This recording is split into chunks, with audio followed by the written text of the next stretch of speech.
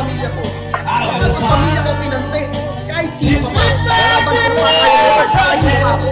Binarubal na tayo. Pinarutado na tayo. Kinuha na yung bahay natin. Kasi kung lahat tayo mananawag, nakakapatulong tayo yan. Baka tayo papapin ko. Napakatawa. Respect mo. Galit na galit. Lahat klaseng tao.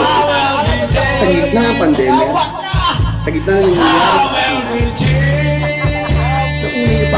pangangailangan.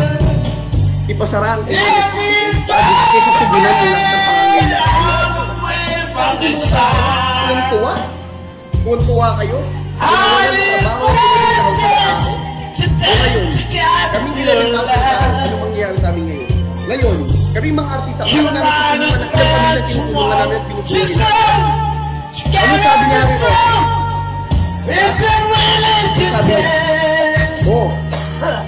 na kayo.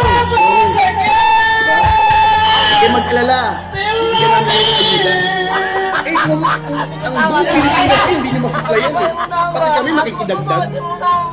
Kami pong mga artista. Ang ABS-CBN. Kami po ang mga isa sa mga pinakamalaking nagbabayad ng buwis sa ating bansa. Kami po, may binabayaran po kami tax taon-taon. Meron po kami binabayaran back every month. Namin. Bukod sa binabayad kami. May serbisyo kami sa mga tao. Pupunta kami sa ibang bansa para kamustahin ang lahat ng mga OFW.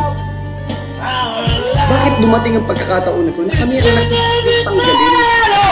Sa panahon ngayon, ang ABS-CBN at ang mga artista ang unang, ang isa sa mga tumutulong sa mga kaalaman.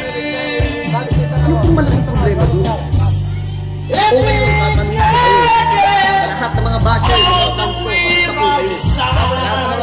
dyan, kamusta po kayo?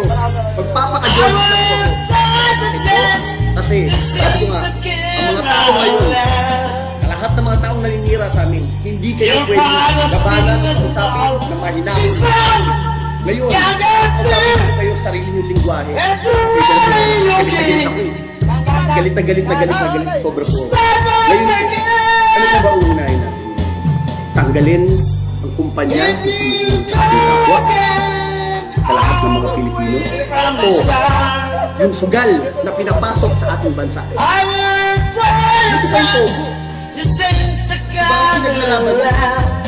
Itong kumpanyang tumutulong sa lahat ng mga tao ngayon, nasara yun?